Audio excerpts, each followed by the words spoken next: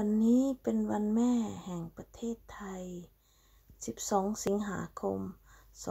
2565 รักและห่วงใยคุณแม่ วันนี้อยากจะอวยพรให้คุณแม่นะคะ โทรไปหาคุณแม่แล้วแล้วก็ขอคำอวยพรจากคุณแม่ เนื่องในโอกาสวันแม่แห่งชาติ แห่งประเทศไทยค่ะ ขอให้คุณแม่สุขภาพแข็งแรงเป็นล่มโพล่มใสของลูกๆตลอดไปนะคะ คุณแม่มีลูกด้วยกันห้าคนนะคะ คนพิรดาเป็นคนโต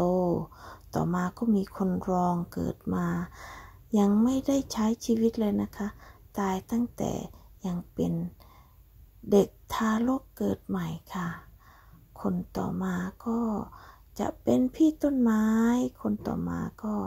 จะเป็นผู้ชายเสียอายุ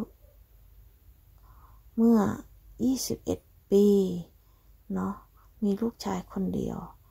ก็เสียไปแล้วด้วยอุบัติเหตุของการขับมอเตอร์ไซค์โดยไม่ใส่หมวกกันน็อก แล้วก็มแมลงบินเข้าตาเนาะแล้วก็เสียชีวิตไป คนสุดท้ายก็เป็นน้องสาวก็อยู่ที่บ้านเลี้ยงดูคุณแม่ คุณแม่รักลูกทุกคนนะคะ ไม่ว่าลูกคนไหนจะเป็นยังไง หัวอกคุณแม่อยากจะให้ลูกได้ดีทุกคน อยากให้ลูก ของคุณแม่เป็นผู้ที่ฉลาดเฉียบแหลม รู้จักเอาตัวรอดรู้จักเอาใจใส่ตัวเอง ไม่หลงผิด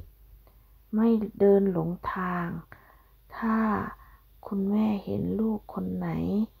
เดินหลงผิดหลงทางย่ำแย่คุณแม่ก็จะห่วงใยนะคะ เราไม่ต้องทำอะไรเลย ก็จะทำให้คุณแม่ทุกข์ใจ ทั้งๆทที่เขาไม่ได้ตั้งใจที่จะทำให้แม่ทุกข์ใจนะคะ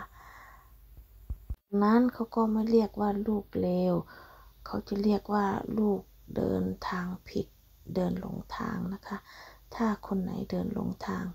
คุณแม่ก็ห่วงใยแล้วก็เขาจะเป็นคนที่น่าสงสาร ในโลกของปัจจุบันนะคะ